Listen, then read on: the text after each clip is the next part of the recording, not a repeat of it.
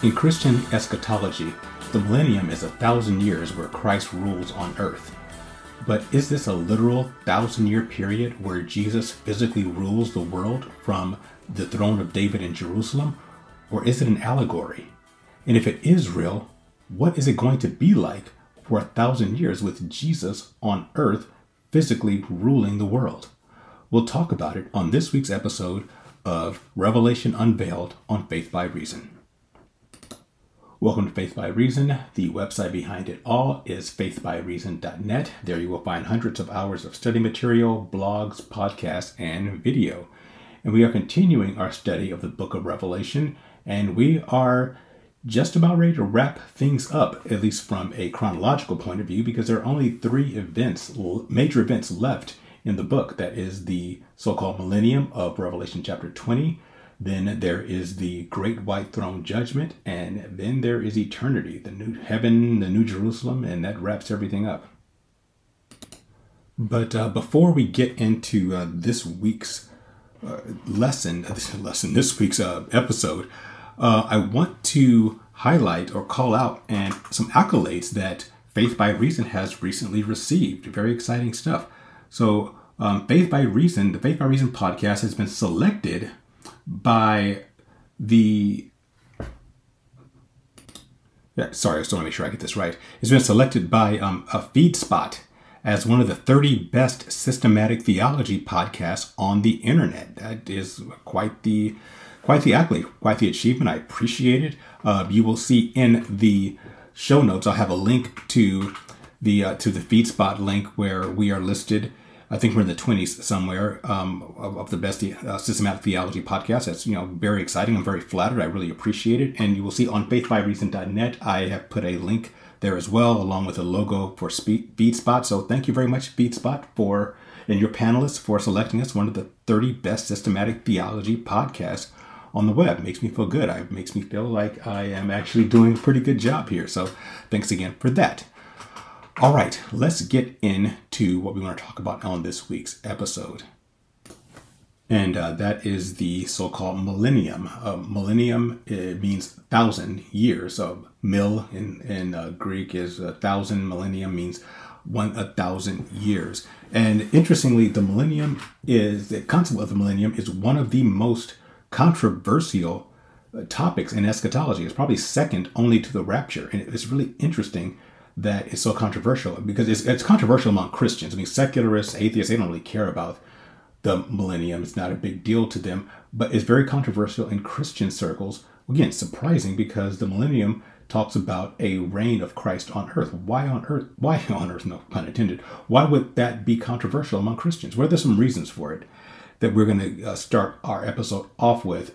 But before we do that, let's, let's just read the section, the portion of Revelation where it, it details this thousand years, and then we'll we'll go over a few more verses, um, other places where the millennium is mentioned, and we will go from there. So we're going to read from a Revelation chapter twenty, uh, starting at verse one, all the way to uh, verse six. All right, here we go.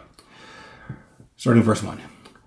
Uh, chapter 20. Then I saw an angel coming down from heaven, having the key to the bottomless pit, and a great chain in his hand.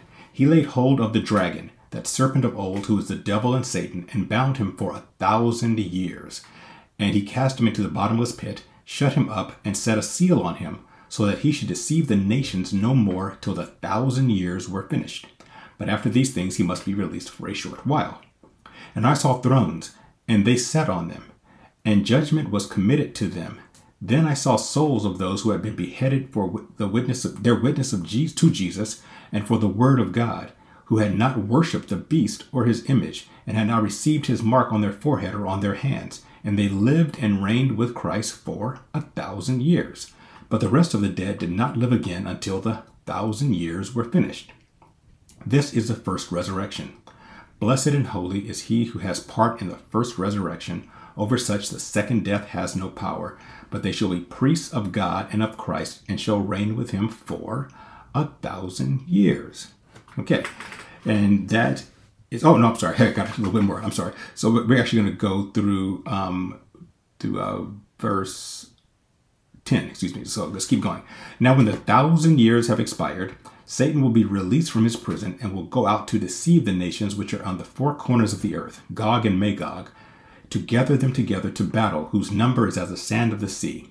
They went up on the breadth of the earth and surrounded the camp of the saints, then the beloved city, and fire came down from God out of heaven and devoured them. The devil who deceived them was cast into the lake of fire um, uh, and brimstone, where the beast and the false prophet are, and they will be tormented day and night forever and ever. Okay, and that's the actual end of the millennium. Sorry, I cut, my, I cut myself a little short. All right, and you will notice that I emphasized the, the phrase a thousand years, and there's a reason for that. We're going to get into it in a minute. But um, before we break down these verses, I want to.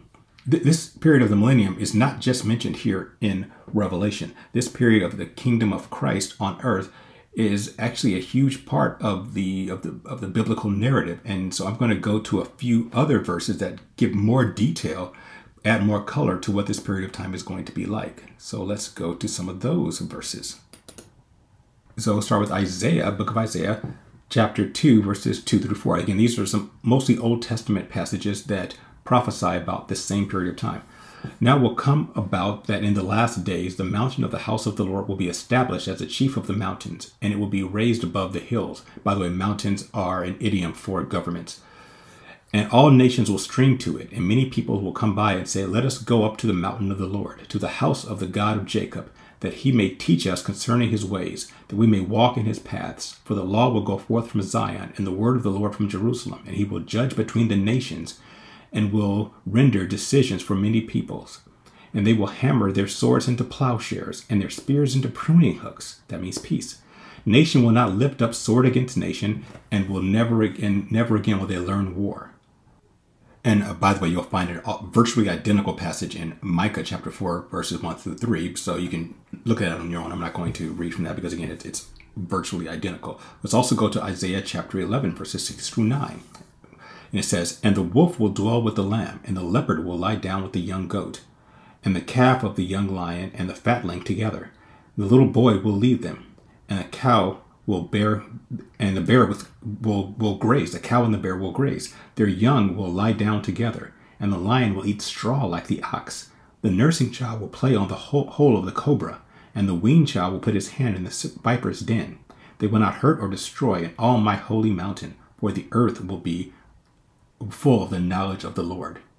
Isaiah 65, verse 25. Again, the wolf and the lamb will graze together, and the lion will eat straw like an ox, and dust will be the serpent's food.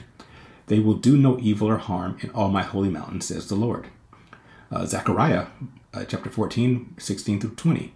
Then will come about that any who are left of all the nations that went against Jerusalem will go up from year to year to worship the King, the Lord of hosts, and celebrate the Feast of Booths, or the Feast of Tabernacles. And it will be that whichever of the families of the earth do not go up to Jerusalem to, to worship the King, the Lord of hosts, there will be no rain on them. And if the families of Egypt do not go up and enter, no rain will fall on them. It will be the plague to which the Lord smites the nations who do not go up to celebrate the feasts of booths. Then going to the New Testament, a couple of um, uh, passages there. Matthew 19, 28. And Jesus said unto them, Truly I say unto you, that you who have followed me in this in the regeneration, when the Son of Man will sit on his glorious throne, you will also sit upon twelve thrones, judging the twelve tribes of Israel. Luke 22, 29 through 30. And just as my Father has granted me a kingdom, I grant you that you may eat and drink at my table in my kingdom, and you will sit on thrones judging the 12 tribes of Israel. So the, the, there are other passages too. I could actually spend this entire podcast with um, passages about this period of time, but it is throughout the Old Testament, it is one of the great promises to the descendants of Abraham, Isaac, and Jacob that the world in the future will be ruled from Israel, from the throne of David in Jerusalem. The entire world will be ruled. God promised that. He made that unbreakable, unconditional promise to Abraham back in the book of Genesis. And this is the culmination of that. This millennial period is when all those things come to place. And it's something that the Jewish people have been looking forward to, have been looking forward to for a long time. In fact, when Jesus was on earth and he was asked constantly when they, once they recognized he was the Messiah, that he was the anointed one. They said, "When are you going? When are you going to come to the kingdom? When are you going to take the kingdom? When are you going to set this thing up?" They, they were waiting for it, and Jesus would always answer them, "My time is not yet." He didn't say it wasn't wasn't going to happen. He just said it's not my time. The time is not yet. You know, just be a little patient, and that's going to be important when we get into uh, what we're about to talk about, which is the controversy around the literalness of the millennial period.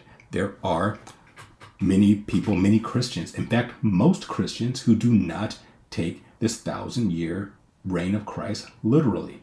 Why? Why would you not? Why would the majority of Christendom not want to embrace the idea of Jesus, our Messiah, our Lord and Savior, reigning over the earth? Honestly, it's agenda driven. It's theology driven. It's pride driven. I've said before, I'll say it again, I'll say it many, many more times, as many times as it takes for people to finally get it. You should never try to make the Bible conform to your theology. Your theology should conform to the Bible. I will say that again. If your theology does not fit the Bible, then don't try to change your Bible don't try to change the Bible to make it fit what you believe. Change your beliefs to fit the Bible. And everyone, you will see, everyone who denies the literalness of the millennium are doing just that. They are so tied to their theology, to their beliefs, that they ignore or obfuscate what the Bible clearly and literally says in order to make the Bible conform or contort to fit their beliefs. And that is pride because you are basically saying that what you believe, your personal theology, your agenda is greater than God's word because you have to twist and contort God's word in order to fit into what you believe. And that is invalid and it's prideful and it's tragic. And the fact that people don't see that they're doing this is, is the biggest tragedy of all.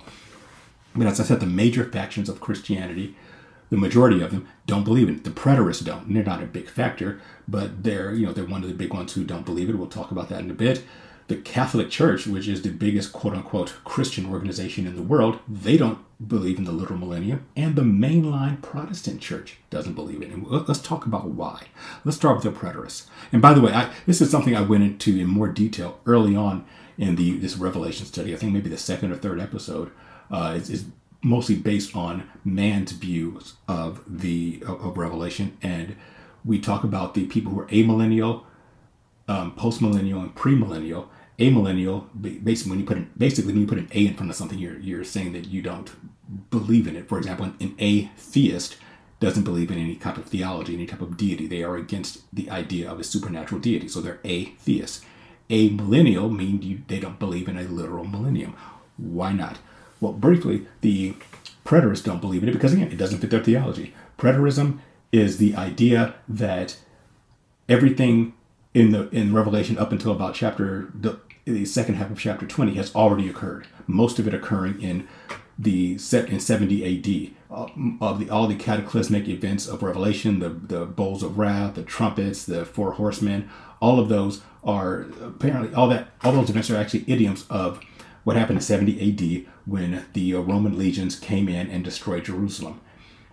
So, if you're a preterist and you have to believe that everything in Revelation, again, uh, up to the chapter, middle of chapter 20, has already occurred, and you have to allegorize a lot because uh, these things didn't literally happen. There weren't literal bowls of wrath being poured out. So, you have to say it was an allegory for the Roman devastation, that including the second coming of Christ. If you're a preterist, you believe that Jesus apparently returned in 70 AD even though no one witnessed it, no one decided to jot it down.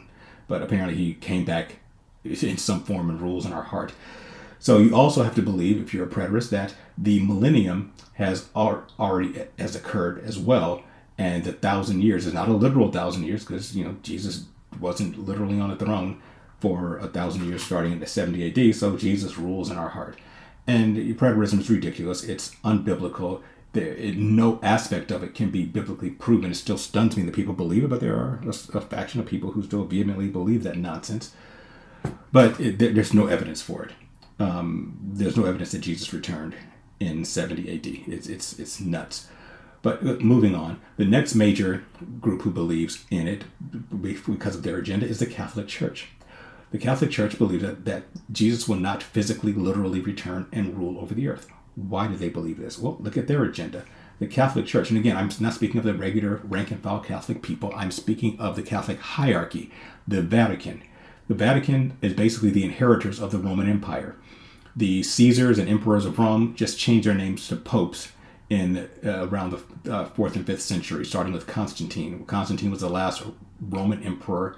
He uh, allegedly converted to Christianity, and he anointed, he made Christianity legal, which was a good thing because it stopped Christians from being tortured and tormented in the Roman Empire. But he, but Constantine also made himself the head of the church. He made himself Pontifex Maximus, which is the same title that the popes have to this day. He made himself the first pope, not Peter. That's ridiculous. Peter was never a pope. That's that's a myth. The first pope was Constantine, and his third successor, Theodosius, made uh, Christianity the official religion of Rome and that just started a whole cavalcade of really just horrible things happening. But the popes are just no, nothing more than the Caesars. They were the rulers of the world. They ruled the world overtly for another thousand years and covertly from you know around uh, the 1400s to this very day. And that's a whole other thing we've talked about before. All that to say, you know, the popes are the rulers of the world. The Vatican's the rulers of the world. So the idea that, to quote um, Chuck Missler, the late Chuck Missler, the idea that Jesus would come and set up a kingdom and kick out the evil rulers didn't really sit too well with the evil rulers. So the, the papacy being those evil rulers. So they don't want people, their their flock, their the Catholic people, waiting for Jesus to come back and set up a kingdom. They want so they want to keep their temporal power. So they say, oh no, no, no, Jesus isn't physically coming back. He rules in our hearts. So we, the Catholic Church, we are the we are the keepers of the kingdom, and Jesus just rules through us. He rules in your heart. He rules through Catholicism. There's no literal thousand years.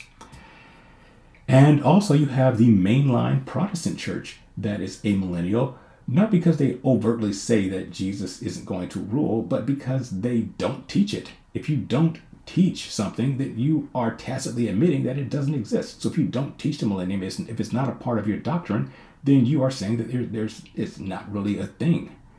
And most mainline Protestant churches do not mention the millennial reign of Christ as part of their theology, as part of their mission statements, as part of their, their church charters. They just ignore it. And some do outright deny it or deny the literalness of it. Even, again, one of the people I admire greatly, the late Dr. Michael Heiser, he doesn't believe in a literal thousand years, which it's amazing to me. I, I, would listen to his Revelation study, and he reads the, these words here, where the word "a thousand years" or the phrase "a thousand years" is mentioned six times, and even despite that, he just says, "Well, you know, it's the millennial reign is just part and parcel of the rest of the Armageddon scenario somehow." But I don't want to get into details on that. Again, I respect Dr. Heiser a great deal, but his expertise is in the Old Testament. He doesn't, and and he only looks at the New Testament to the degree that it amplifies the Old Testament. So he's not really into eschatology. It's never been his thing. And I think that's one of the reasons why he has a, a bit of a blind spot and is really obtuse about the millennial reign.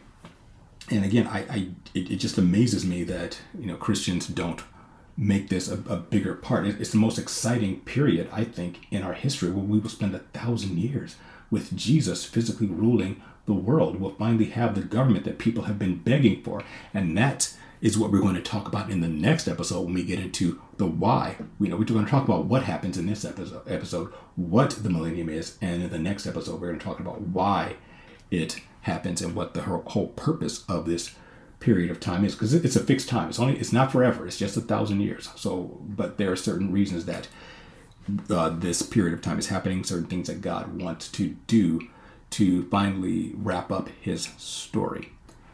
Right. So then there are a couple others. There's the postmillennialists and and pre they're premillennial and postmillennial, and, and the pre and post have to do with when they believe Jesus is going to return. The postmillennialists believe that Jesus returns at the end of the thousand years. The premillennialists believe that he returns before the thousand years. Postmillennialists, very briefly, they believe that the that we're in the millennium right now, that we are in that period of time and it is the job of Christians to basically conquer the world in the name of Jesus. That the Great Commission, where Jesus said at the end, before he ascended to heaven, you know, go to the to the disciples. He said, "Go out into the world and make disciples of all men." and you know teach them uh, the, the, statutes of Jesus. And they, the post millennials, take this to mean that we're supposed to witness to the entire world, convert the entire world to Christianity, and then once we've done that and the world is completely Christian, then Jesus will return and our church, the church will present the world to Jesus as a gift, more or less. Uh, that it that theology was very popular in the 1800s. And it's and the people who do it now or believe in it now, they're called like the, the Reconstructionists or the Dominion Now people. And the reason it was popular in the 1800s is because the world seemed to be getting better and more Christian. The 1800s were known as a time of great of great missionary trips. People were going around the world spreading the, the news of Jesus, and they were converting hundreds, thousands, thousands of people in the Philippines and in the in, in Asia and in India and in Africa, and things were looking great. And so people were believing, hey, we're, we're winning. Christianity's winning. Then, of course, the 20th century happened, and we had the world wars, we had the um, the, the uh, communist revolutions, like really terrible things in the 60s in Vietnam, and it's pretty clear at this point that things are not getting better. The world is not becoming more Christian, the world is becoming less Christian. So there are actually very few people who still believe in the Dominion Now aspect or, or who are post-millennialists. They're a very small, very vocal group because if, you, if, you're, if you're a logical person and you see that you, what you believe is wrong, you abandon it. But the illogical people, instead of abandoning a, a, false belief, they just double down and believe it harder and become more vocal. So the post millennials are a very small but very vocal group who still, some for some reason, believe that they're going to win by converting the world to Christianity. It's not going to happen. Sorry, folks. That's I've read the I've read the book. that's not how things end. And finally, there are the premillennialists, which of course I fall into that category. Those are people who believe that Jesus will return. That there, number one, that there is a literal thousand years and that the and and that Jesus returns before the thousand years. Why do people like me believe in premillennialists that Jesus returns before the thousand years? Well, because um, I understand basic mathematics. That Jesus returns in Revelation chapter 19, and the millennium is Revelation chapter 20. And so I know enough about math to know that 19 comes before 20, therefore Jesus returns before the millennium, ergo premillennial. Also, I understand math and that a thousand years, if a thousand years began when Jesus ascended to heaven in, in, in about 33, 34 AD, uh, it's been more than a thousand years since then. If that were the case, then the millennium should have ended around the 10th century. It didn't. We are a thousand years past the 10th century. Therefore, the millennium could not have happened when Jesus re- returned, meaning when, when Jesus uh, ascended, ascended to heaven, meaning that the thousand years hasn't happened yet. So it's a so premillennialists believe that the thousand years has have not happened yet, and they will happen after the Battle of Armageddon when Jesus returns. So that's that. Sorry, that took longer than I thought. So let's get into what the millennium is going to be like. And by the way, one more thing I want to mention is that the some of the amillennialists, especially in the Protestant church, there, there, there's a, a subtle and sometimes not so subtle anti-Semitism to their denial of the millennium because the millennial reign is very Jewish. It was a promise made to Abraham, Isaac, and Jacob. The, this is something that the Jewish people have been waiting for for a long time. Again, as I said, during the time of Jesus, they were always asking him, when are you going to come into your kingdom? Now, if the, if the millennium wasn't real, if it wasn't, if it was an allegory, Jesus could have told the disciples and said, hey, you know, guys, this millennial, this kingdom you're waiting for is not going to be a real kingdom. It's just going to be me ruling in your hearts. But he didn't say that. He said, it's not happening yet. Wait for it. So the fact, so that's another reason to believe that the millennium is future and it's real because Jesus could have denied it. He could have told the disciples, guys, guys, you have it wrong. It's not a real thousand years.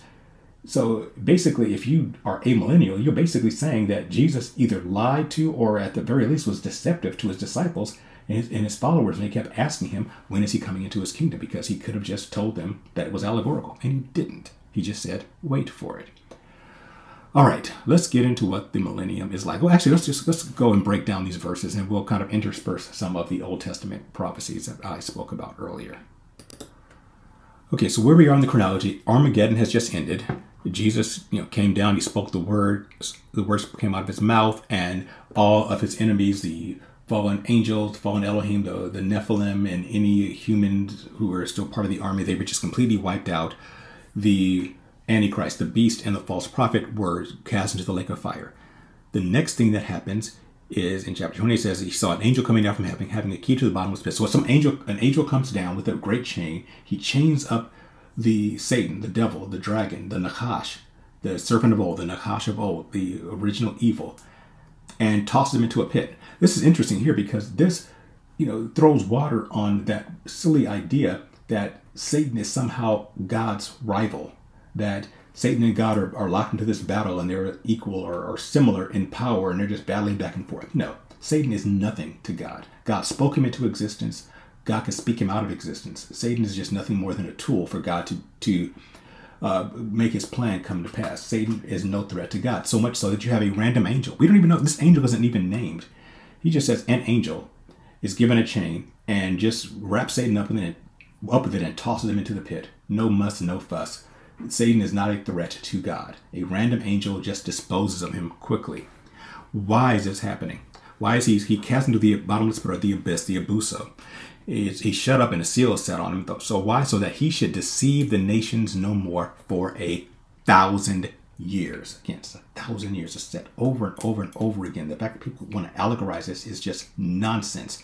The Bible could not be more clear. It says six times in a matter of about 10 verses that it's a thousand years. It's not an allegory, people. It is a thousand bloody years. Get that through your heads. Okay.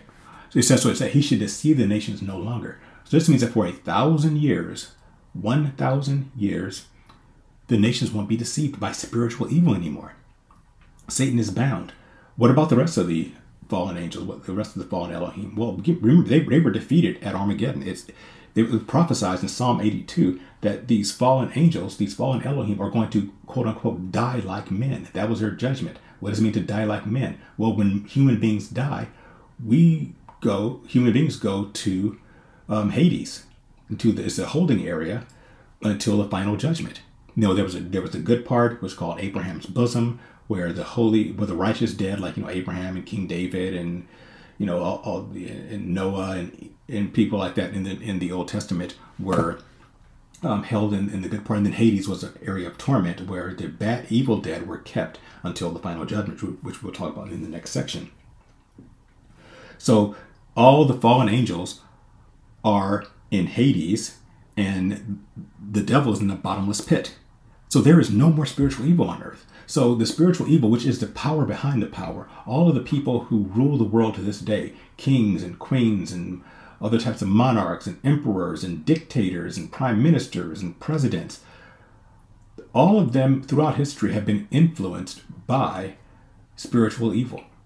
We've talked about that many times. There is a spiritual component to man's leadership, and they've been influencing nations and driving nations to war and to subjugate other human beings and to do many of the evils that are in the world. They're gonna be gone. There will be no spiritual influence. And because of that, the world's to be a very, very different place when when um, the leadership is not being motivated, when we're not being tempted by spiritual evil. They're all to be gone. They're all to be locked away. And because of the lack of that spiritual evil, the world is going to be a very different place. As we saw in some of the passages I was reading before, that's going to be peace. War is driven by spiritual evil. Human beings don't want to go to war. There's no one who gets up in the morning saying, you know what I really want to do today? I want to get a gun and march into another country and start shooting people. Nobody wants that. That's always driven by leadership.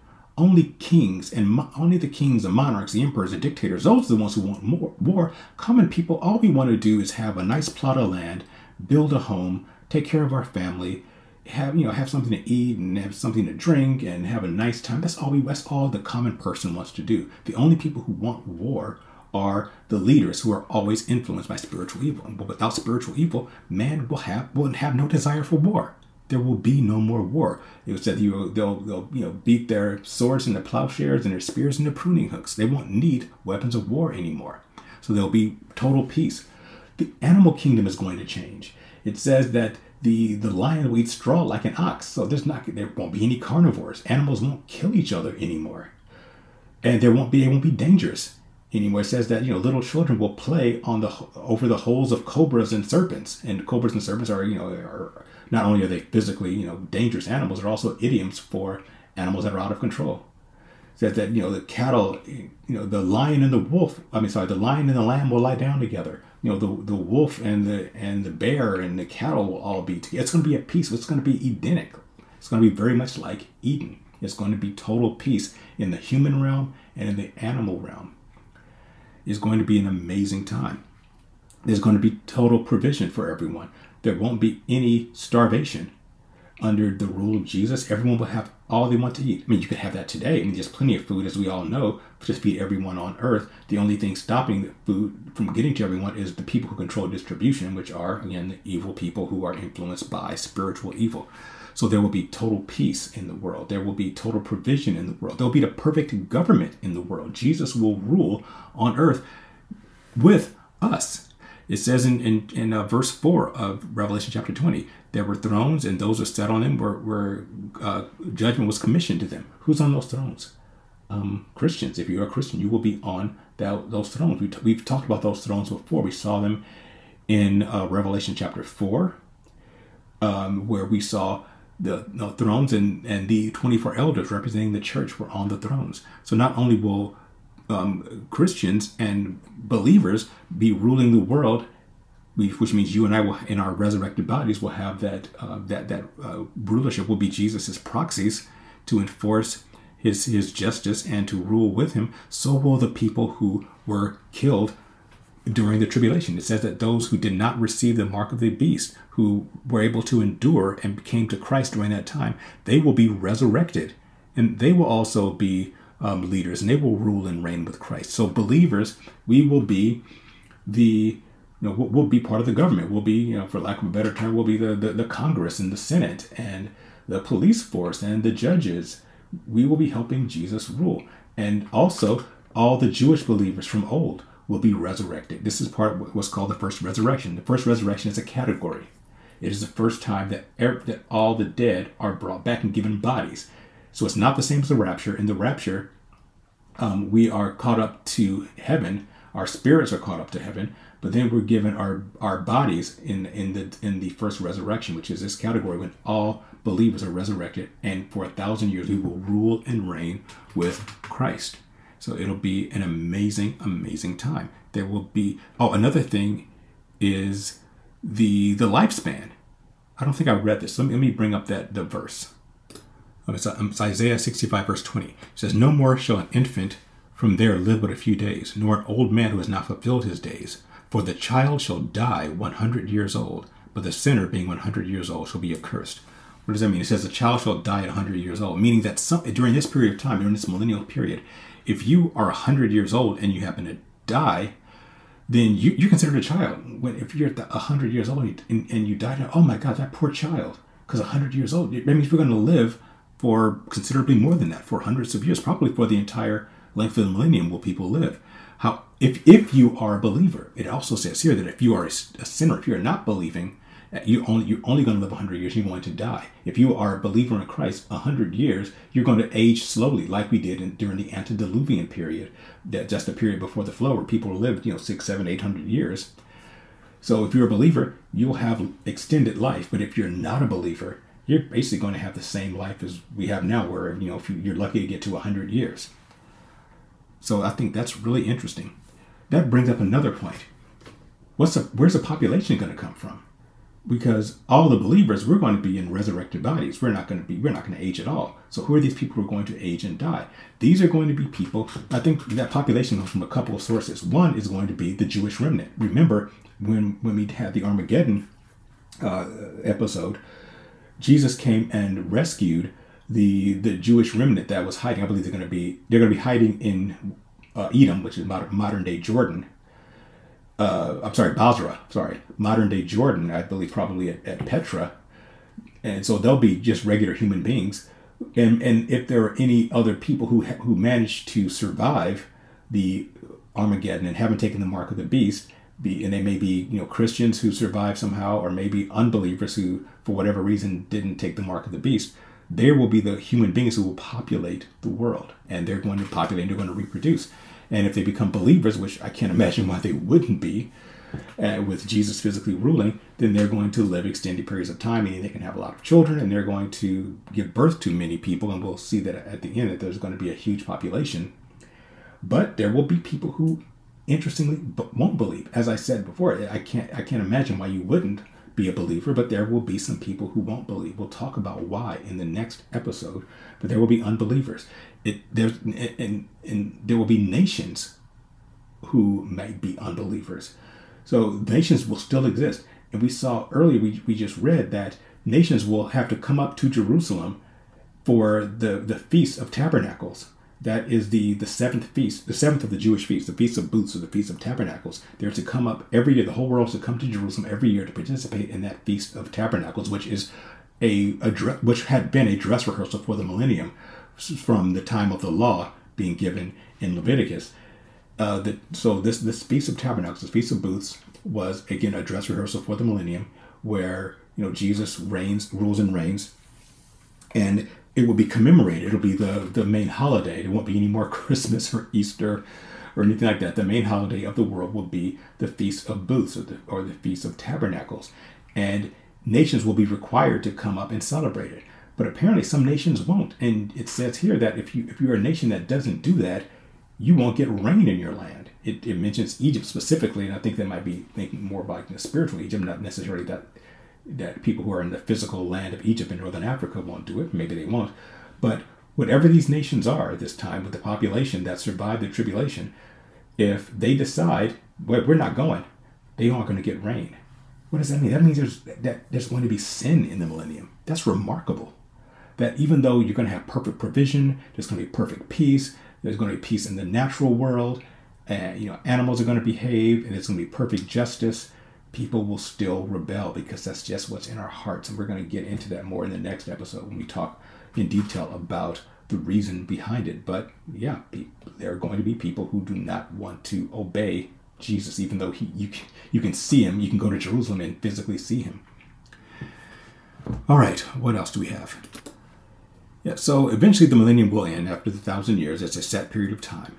After the thousand years have expired, it says Satan's going to be released from the abyss. And he will go out to deceive the nations, the four corners of the earth. And it says they're like their numbers are sand of the sea. So apparently people are going to be really reproducing a lot during this thousand years because there's going to be, I think the sand of the sea is an allegory because I mean there are trillions of, of grains of sand and that's just, the earth couldn't, couldn't hold that capacity of human beings. Maybe it could, I, I don't see how, but I'm, I'm going to take that as an, an idiom that is just going to be a huge population. If it turns out to be that many people, then you know, so be it. But apparently, it's going to be a huge population. And once Satan is released, he's going to do what he always does. He's going to deceive these nations and he's going to have them make war. Remember what I said before people do not want to make war on their own, they only want to make war when they're influenced by spiritual evil. And when Satan is released, he's going to go out, he's going to quickly deceive the nations, he's going to organize them, galvanize them, teach them how to make war, which is what happened originally during the time of the um, the antediluvian period. If you read the pseudepigraphal book of Enoch, there was a, an angel in Elohim called Azazel who taught men how to make war. Otherwise, they wouldn't have done it. There was no war before um, Azazel did that, and, which is again is a document which is documented in the book of Enoch.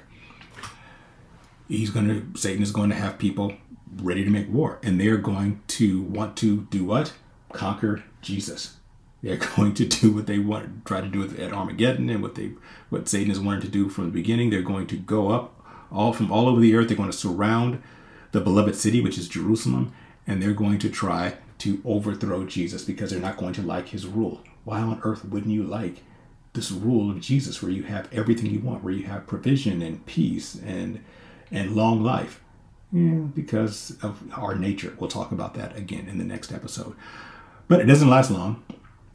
Oh, by the way, I want to mention that it does say Gog and Magog. He deceives the nations from the four corners of the earth, Gog and Magog. And I mentioned uh, during the probably the last episode when we talked about the um, the Gog Magog war. Is this the war? Maybe. Um, I have some issues with it, and one of those issues is that Gog is an entity. Magog is a land. Magog a nation. No problem with that. But Gog is an entity and all the entities, uh, the spiritual entities, the evil ones, should are either are, in Hades at this point. So how could is Gog release? I don't think so. I think that when it says here Gog and Magog, I, I think it is a reference to um, just the fact that these nations are are going to experience something similar to the Gog Magog war. I, I'm still tending towards the idea that the Gog Magog conflict happens either right before the uh, tribulation or at, during the early portions of the tribulation. I, I don't think that this cleanly fits into the Gog Magog scenario of Ezekiel chapter 38 39. I could be wrong, but Gog, the entity that, that is Gog, should be in Hades at this point. He, he should have been taken care of it at Armageddon. So I don't think that fits. Anyway, this is a very short-lived rebellion. Satan gathers everyone around, gathers everyone together. They go to make war against Jerusalem. God doesn't mess around. He sends fire from heaven and devours them all. And that's done. It's a really quick, quick thing, just like Armageddon was a quick thing. Why did this happen? Yeah, next episode we'll, we'll get into the whys behind it. We're just talking about the what's in this episode. Then after that, it says the devil who deceived them was cast into the lake of fire and brimstone, where the beast and the false prophet are. This is really interesting because after we get done with the millennium, we're going to talk about the great white throne judgment, what that means, and we're going to talk about what hell, the lake of fire, actually is. Because there are some people who believe that hell means you're just annihilated. When you when you go to the lake of fire, poof, you're just burned up. There's you know a lot of Christians, Christian theologists who don't believe that hell is, is eternal, that it's just a quick thing and poof, you're done. This speaks again, this is one of the areas that speaks against that because it says this is he, Satan is cast into the lake of fire and brimstone where the beast and the false prophet are, not where they were, or where they are. Remember, they were cast into the lake of fire at the beginning, right before the millennium started. And now, a thousand years later, they're still there. So they're still there after a thousand years. So that speaks against the whole annihilation uh, theory of what hell is. So, but we'll we'll get into that more later. But okay, that's um, pretty much it. That is the millennial reign of Christ. He Satan is bound. Jesus rules for a thousand years. The the earth is very it's a com- combination of what Eden was like and what the pre-flood world was like. It's it seems to be on the surface a, a, an amazing time, but it will not be a, it would not be a sinless time. There will still be sin there. People will still sin, and when Satan is released, they will quick he will quickly galvanize the evil of the world, and they will attempt to overthrow Jesus, and of course they will fail miserably. That is the what of the millennium. In the next episode, we're going to talk about why. What was the purpose of this? Why it, does this thousand year period need to happen? What is God trying to accomplish here? And how does it fit in to the overall story of Jehovah, which is what the Bible is? And how does it fit into the dispensation model that we've been talking about on Faith by Reason for many, many years now? We're going to talk about that next time. All right, thank you for listening and watching. I appreciate it. Uh, please subscribe to Faith by Reason on YouTube or on Rumble or Best way to do it is to subscribe at faithbyreason.net and put your email to the left, excuse me, to the right navigation area, and you will get these episodes as soon as they come out. And uh, we will talk to you next time when we look at the purpose of the millennium. Then we get into great bright throne judgment, and then we're into we'll talk about hell. Then we will talk about eternity in the New Jerusalem. Thanks, and I'll see you next time.